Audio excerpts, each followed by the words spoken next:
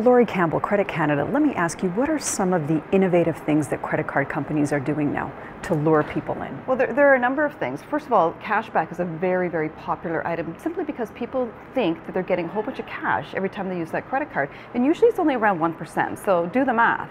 1% on 100 is not, is not a lot of money.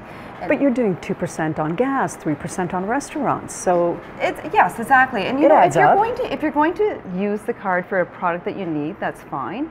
But people are so easily lured into the fact that they're going to get points or this item or these miles every time they use their credit card. And they often use it to gain the points or those credits rather than because they need to use that card. So it's a dangerous line that people, people often cross over. So some of the other credit cards um, that we've been talking about, the scene points, the optimum points, all those cards, mm-hmm. how much of an advantage are they really to the consumer?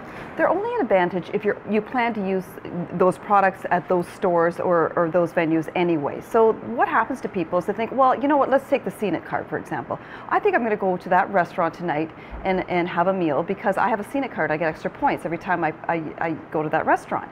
And that is kind of foolish because you may spend $100 at the restaurant to get maybe $2 worth of, uh, of points. And it, it, the math doesn't up. And people are often fooled by this. One of the things that we see often at Credit Canada is people come in with thou owing thousands and thousands of dollars on their credit card. And they don't want to stop using that card simply because they want to continue getting points not recognizing the interest they're paying because they're not paying these balances off in full is probably 20 times the value of those points.